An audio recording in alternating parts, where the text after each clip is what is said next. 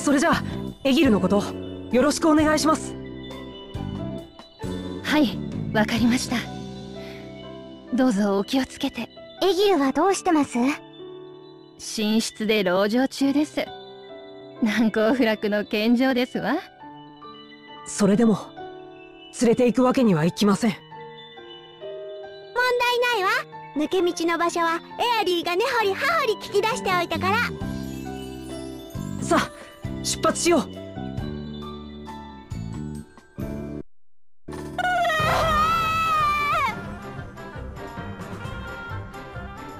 お？エギル何やってるんだ？ついてきたらダメだって。あれほど言ったじゃないか。エギル聞いてるのか？でも抜け道の開き方知ってるの？僕だけだし。何ですって？あの抜け道を開けるにはさまず最初にすっごく狭い穴に入らなきゃいけないんだ。お兄ちゃんたちじゃ絶対に無理。絶対通れないね。お屋敷で教えてくれた時はそんなこと一言も言ってなかったわ。騙したのね。騙したわけじゃないよ。言わなかっただけで。同じことでしょ？でも残念でした。エアリーがいるから狭い穴なんて問題ないわ。へへん。エアリーじゃ小さすぎて抜け道を開けるための岩の取っ手は動かせないね。岩の取っ手って何よ？聞いてないわ。そりゃあ言ってないもん。ではエギルを連れて行きましょう。クリスタル解放のためにはやむを得ません。ダメだ。もしこの子に何かあったらどうするんだよティズアニエスに怒鳴らなくたっていいじゃないの。なんでそんなに怒ってるのよ。僕は？ではティズここからエギルを一人で帰らせるつもりなのですか？そんなことはさせない。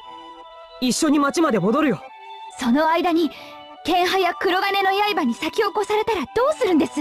エギルは先ほど敵に襲われていたんですよ。以前はアジトに監禁もされていました彼らがすでにこの抜け道の存在に感づいているかもしれません。でも。私はクリスタル解放の使命を優先させるべきだと考えます。そうよ。世界から闇を浄化するためならば多少の危険や犠牲は。ダメだ。何を言ってるんだエアリー。犠牲なんて一人も出したくない。出させない。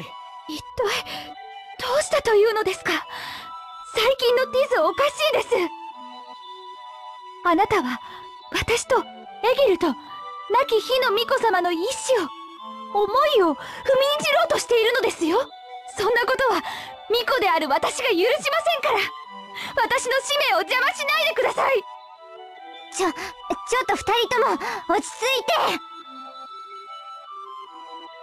似ているんだ。死んだ弟ティルにあの大穴が開いた時ノルエンデ村が闇に飲み込まれた時エギルと同い年のこんな小さな僕の弟が僕の目の前で闇の中に落ちていった弟を守ることができなかった。ティルの手を掴み続けることができなかった。僕を見つめたまま闇の中へ落ちていく弟の顔が目に焼き付いてずっと離れないんだ。水の巫女様の時だってそうだ。彼女の命が目の前で消えてゆくのが辛かった。すがりつき涙にくれるアニエスの姿も見ていられなかった。もうあんな思いをするのはたくさんだ。だからエギルを危険な場所に連れて行きたくない。世界を最悪から救うためだとしても嫌なんだ。うん。ではなぜティズはアニエスが危険に臨むことは止めようとしないんだ？だってアニエスは止めたって一人でどんどん行っちゃおうとするから。それにアニエスとは一緒に行くって約束したんだ。一緒にいれば体を張って僕が守って。ティズ。答えはもう出ているじゃないか。えどういうこと？エギルとも一緒に行けばいい。ティズがいや俺たち全員で守ればいい。そうだろ？お兄ちゃんお願いだよ。僕は火の巫女様の願いを叶えたいんだ。わかったよいいかエギル。絶対に僕たちから離れるんじゃないぞ。ありがとう。あの何？いえ何でもありません。先を急ぎましょう。いいか？くれぐれも注意するんだぞ。わかってるって。ここは僕の庭みたいなもんどうした？ミスリル鉱石ゲット！エギルそういうのはいいから僕のそばを離れるなって。何言ってんだよ！こいつが出るか出ないかで晩飯にありつけるかどうかが決まるんだ。重要な品なんだぜ。大丈夫だよエギル。もう少しで内戦はきっと終わるよそうすればミスリル鉱石なんか取らなくてもきっと。ああよく見たらこれオリハルコンじゃないか。すっげえこれが出た日には晩飯に卵がつくんだよな。ラッキー。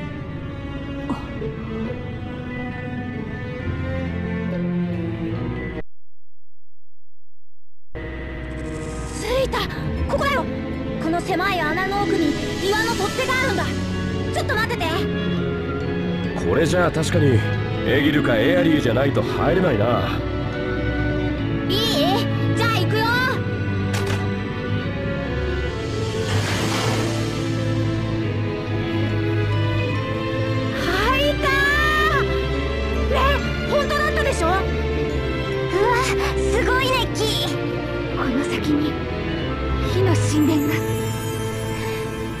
急ぎましょう。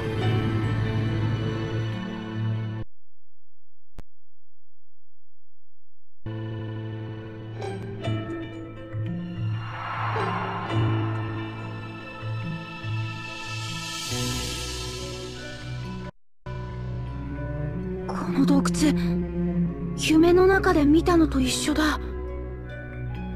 道も火の巫女様に教えてもらったんだ。えっと火の神殿はごーい。エギルやるじゃん。だってちゃんと火の巫女様が教えてくれたもん。ちっともすごくないってば。ねえ僕を連れてきてよかったでしょ？わかったわかった。さあ行こう。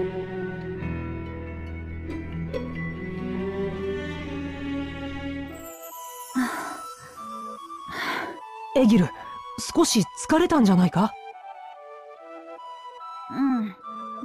ここすごく暑いから。じゃあ少し休憩しよう。アニエスいいよね？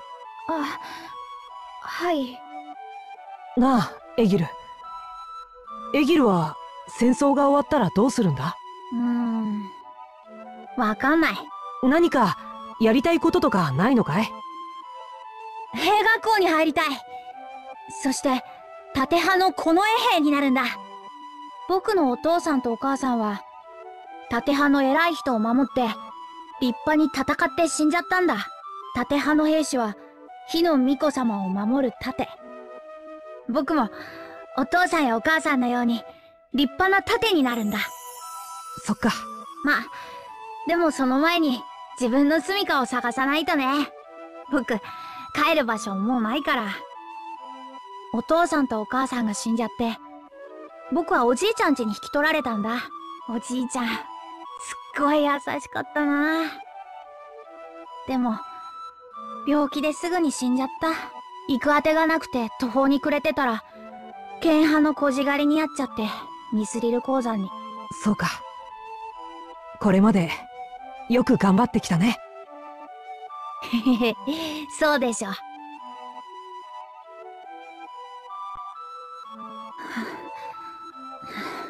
エギル喉乾かないか？少し休もううんごめんなさい。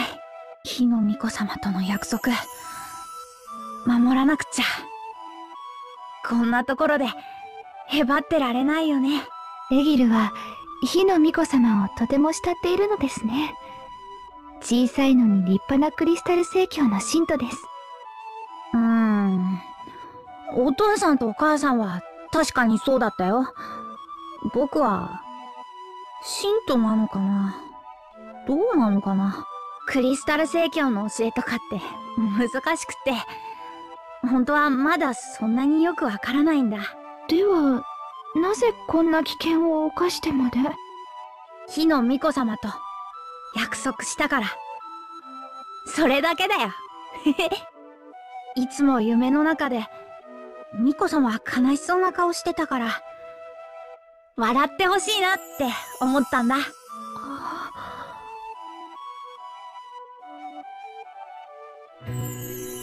こも見たことある。火の神殿はもうすぐだよ。あそこの亀裂が神殿に通じてるんじゃないかな。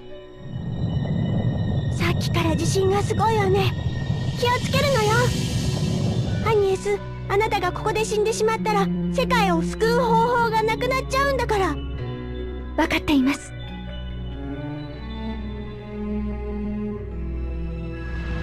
あまた揺れてる。足場が崩れるぞ。走れ！手を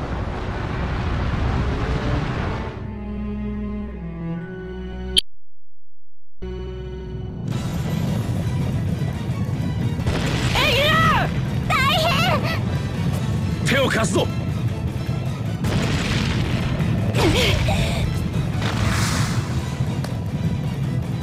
しっかりしろ。今助けるからな。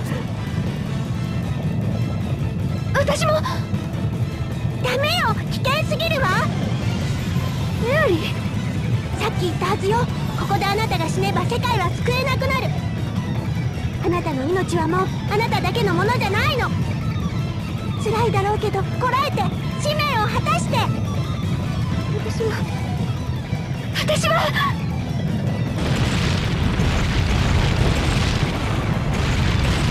チーズ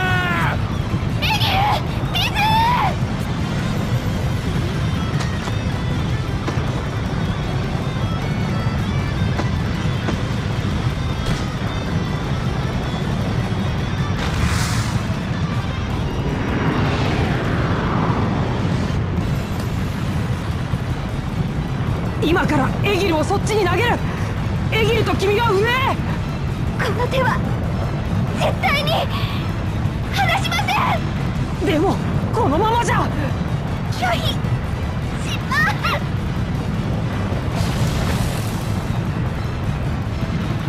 アニエス。ティズ。みんな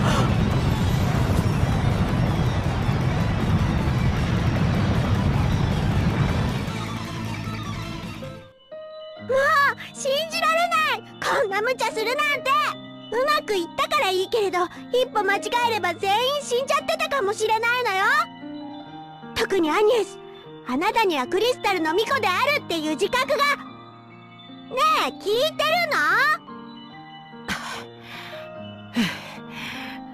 の？エギル無事か？お兄ちゃん、ありがとう。まったくヒヤヒヤしたじゃないかあなたがそれを言うのですか？え？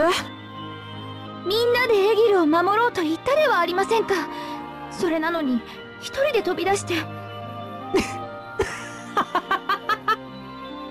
な 何を笑っているんですか？人が真面目に話してるのに。だってアニエス顔が泥だらけだよっていうかあの時アニエスがあさっての方向に走り去ったじゃん。私びっくりしちゃったわよ。こんな時に方向音痴かって。いやアニエスの細腕で二人を受け止めたあの瞬間こそ後世に語り継がれるべきだろう。まさかアニエスにあれほどのバカ力があったとはさすがの俺も見抜けなかった。れは必死で自分でも驚きました。えじゃあ受け止められるかどうかなんて考えずにあんな無茶な真似したの？はい。本当にみんなよく無事だったよな。あのリズそれにイデアリングアベルごめんなさい今までいろいろとひどいことを言ってしまって。またまた私と一緒に旅を続けてくれますか？もちろん！エギルったら。大事なセリフ取られちゃったな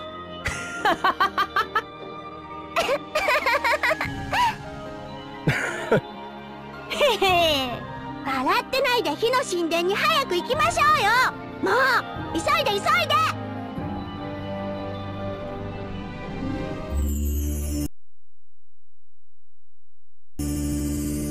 このまがまがしい雰囲気以前にも感じたことがあります。火のクリスタルに魔物が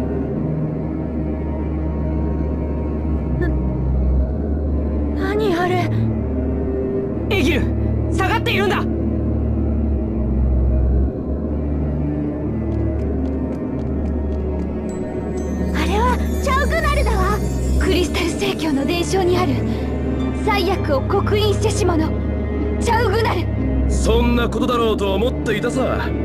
俺は準備 OK だ。あれを倒さないと解放の儀式は始められない。でしょ？そういうことです。アニエス行こう。僕ら4人の手であの魔物を倒すんだ。はい。やったー！お兄ちゃんたちすごい！ほっとしてる暇はないわよ。急いで解放の儀式を始めましょう。アニエス私着替えるの手伝ってあげる。ええ。お願いします。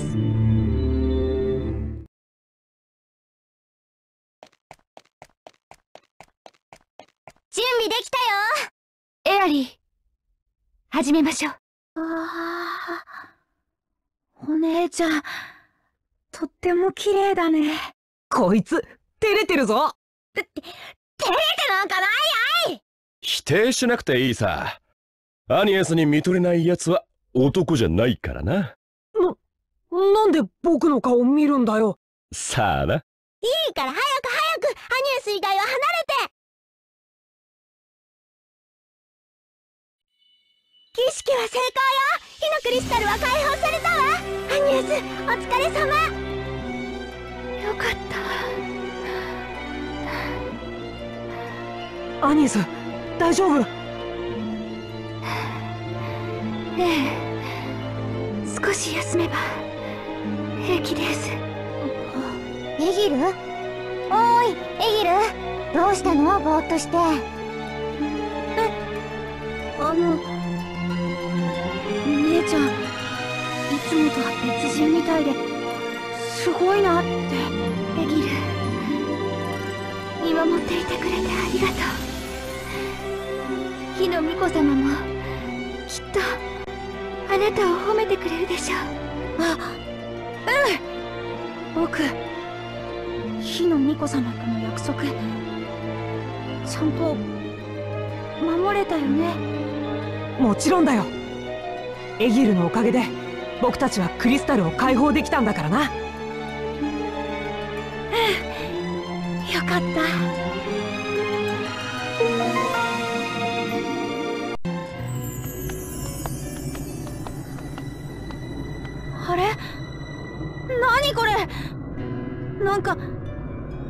つもと違う。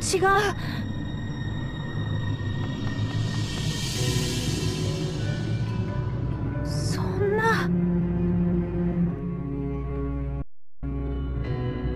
エギルどうしたんだ？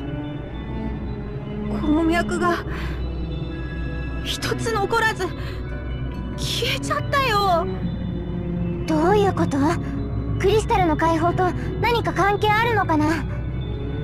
エアリーわかりますか？火の巫女が亡くなり火の象徴であるマグマが制御できなくなった。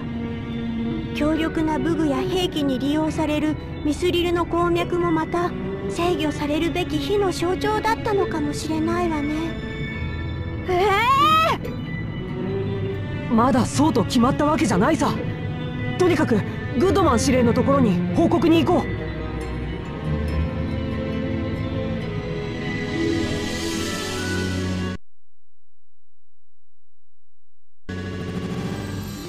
何ですね？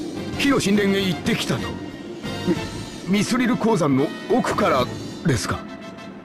はい。火のクリスタルは解放してきました。これで活火火山も静まるでしょう。それはありがたい。風の巫女様それに皆さん本当にありがとう。ただ僕たちが火のクリスタルを解放した後全ての鉱脈が消えてしまいました。そうですか。ああそんなに申し訳なさそうにしないでください。我々にとっては逆に好都合です。何しろ剣派が使ってくるミスリル弾頭には随分と頭を悩まされていましたからね。これで戦況も変わるでしょう。うまくいけば内戦も早く終わるかもしれない。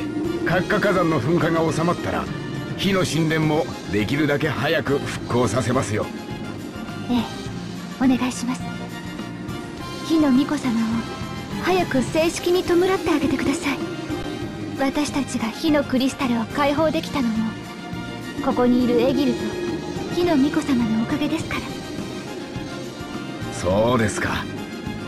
エギル君にも感謝するよ。ありがとう 鉱山で働かされていたカナリア少年たちはこの後どうなるんですか？彼らは全員帰る場所がありませんでした。なのでハルトシルトの町で受け入れます。町の住人みんなで育てていくつもりですよ。そうですか。よかった。エギルまた友達に会えるぞ。さあ皆さんお疲れでしょうハルトシルトの町でゆっくりお休みください。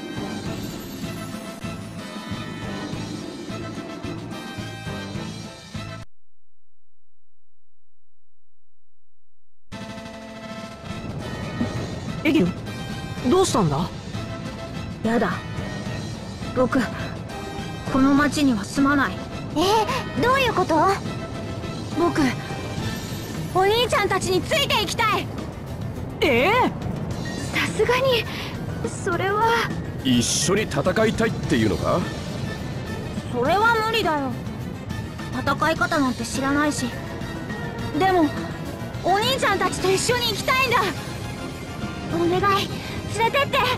何でもするから。って言われても。ダメって言われても絶対についていくから。困ったなとりあえずグッドマン司令の屋敷まで行こ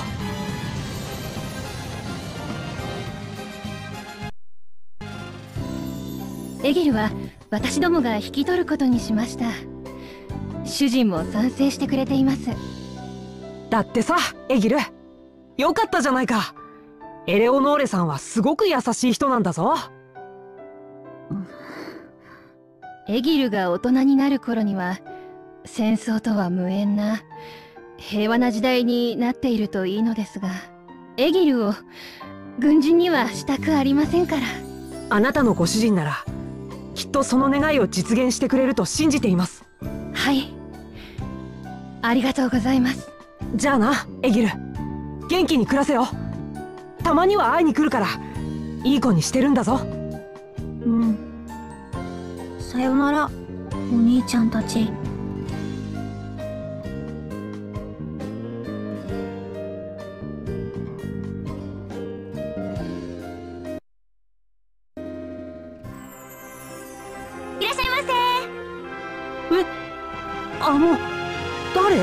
この宿屋のご主人の桃園のものです。今日はお店番ご主人が病気で動けないからね。動けないってそんなにひどいんですか？まさか。医者の話じゃ別に寝込むほどではないらしいの。でも見ての通り。見ての通り？とにかく会ってみます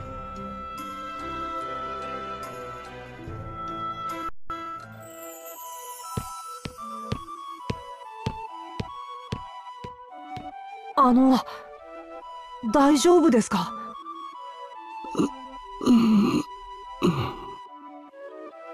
うなされているな。応援。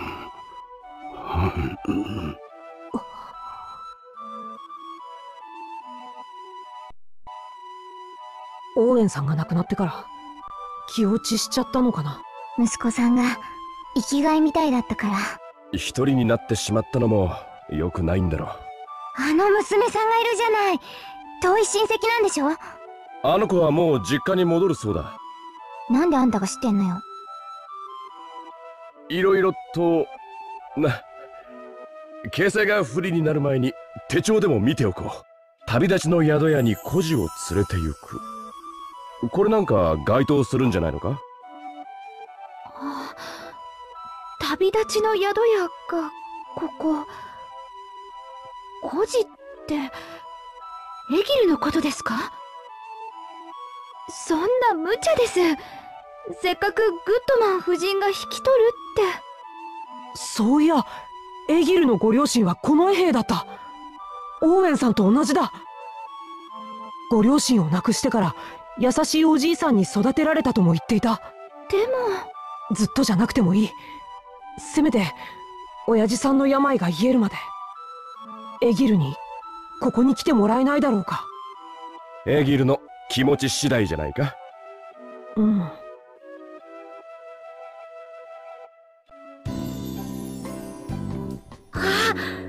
お兄ちゃんたち来てくれたんだね。やあエギル元気そうだな。皆さんがいらっしゃるのを聞いていつになく朝から大はしゃぎで。いつになく？ええ。普段は皆さんが旅立たれてからはずっと塞ぎ込んだままなんですよ。そうなのか？エギル。おばちゃんはとっても優しくしてくれるよ。このお屋敷だって僕にはもったいないくらい。でも僕お兄ちゃんたちと一緒に。なあエギルちょっと僕の話を聞いてくれないかな。とある国にいた兵士長の話なんだ。その人は国を守るために勇敢に戦って亡くなった。僕のお父さんとお母さんと同じだね。それでその兵士長のお父さんがねショックで寝込んじゃったんだ。兵士長のお父さんはね。僕ら4人とも随分お世話になったんだ。僕らの恩人なんだ。例えばなんだけど。もしもエギルが兵士長のお父さんの近くにいてくれたらきっと元気になると思うんだ。どうかな？エギル。ええ一緒に連れてってくれるんじゃないの？残念。うん。うん。分かった。お兄ちゃんの頼みだもん。断れないよ。エギルありがとう。ありがとうなエギルが自分で選んだなら私は止めないわ。でもいつでも訪ねてきていいのよ。うん。エレオノーレおばさん。今までありがとう。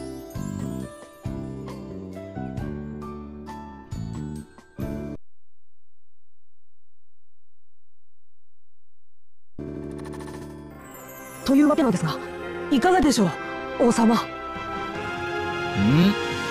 それはいい考えじゃ。わしもあの者のことは心配しておったのじゃ。エイルとやらカルディスラ王国は首相にも宿屋を継ぐそなたを歓迎するぞ。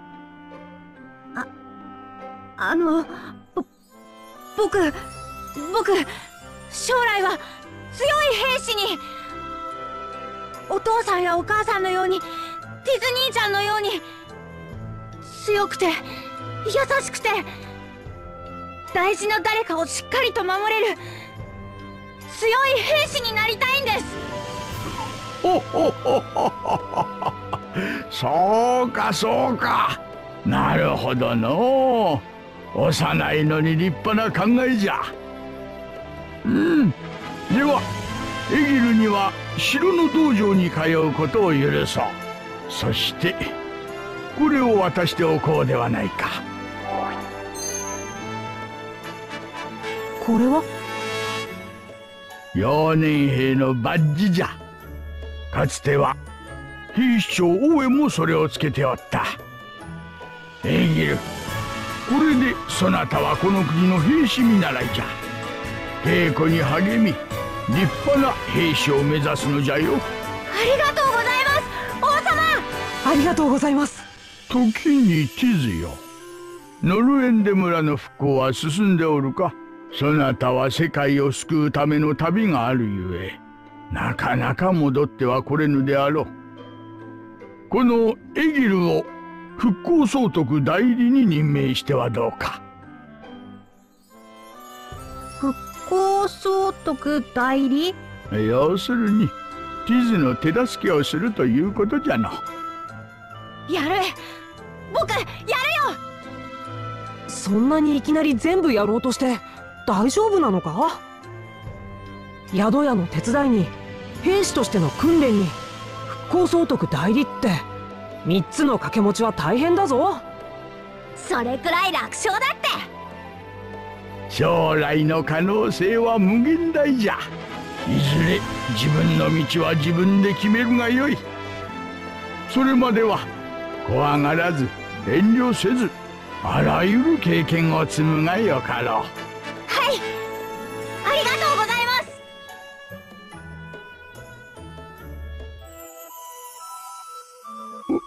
おおお前さんたち久しぶりだね。ん？そっちの小さな子は？おおそれは幼年兵のバッジ。懐かしいな。息子も宝物のように大事にしてたっけ。まるであの頃の息子が戻ってきたようだ。僕ね応援さんのようになりたいんだ。お父さんやお母さんもそうだったから。そうか。きっとなれるよとな。